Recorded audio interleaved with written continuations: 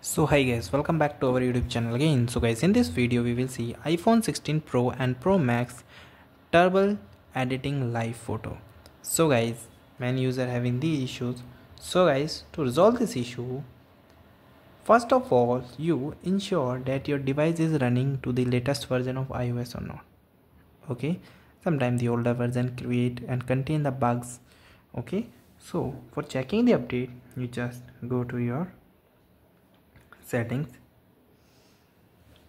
Okay in the setting find the option of general and check the software update. Okay if it shows ios is up to date then okay then you perform the another step. So guys another step is restart the device. Simply restart can sometime clear the temporary glitches and affecting the app performance. To simply restart you just press your volume down button and power button both and release it quickly. And here is the option of slide to power off. So you just power off okay? And after a few seconds you again tap the same button power button and your phone is restart. Okay guys? Then the other thing is editing without changing the key photo so guys if you need to edit the live photos try to change the key photo instead making the adjustment. Okay? So for adjusting the video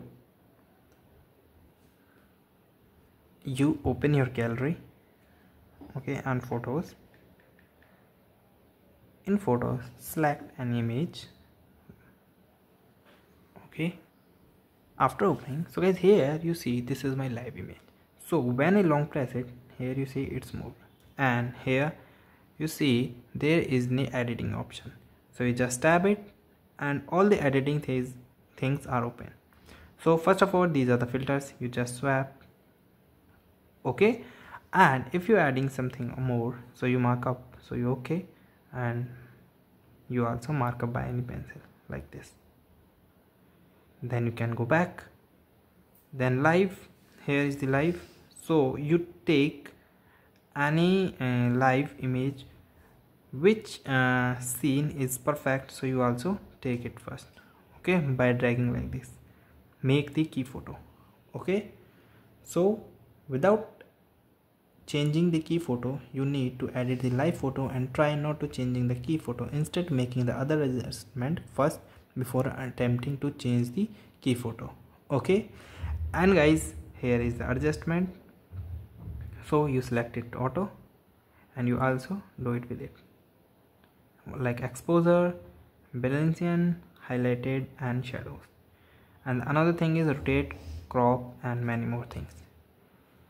And guys if you're facing these uh, problem again and again so guys you need and try to use any alternative editing method. Okay? Considering converting the live image photo into the still image or video format which you allow you to bypass the crashing problem while still pricing your capturing moment. Okay? So you also do it. Okay? And the last thing is you use any uh, application like uh, like adobe express ai photo videos light photo editor and pix photo art. So these are some free application. They are also help you to edit your image and many more things. Okay?